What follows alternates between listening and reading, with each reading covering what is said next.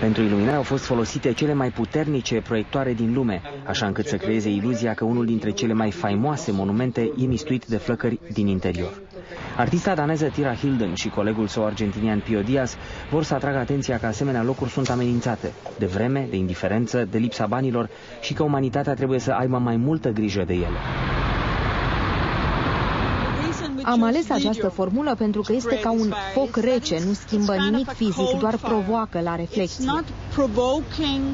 Cei doi artiști au conceput primul lor proiect de acest gen tot la Roma, acum 5 ani.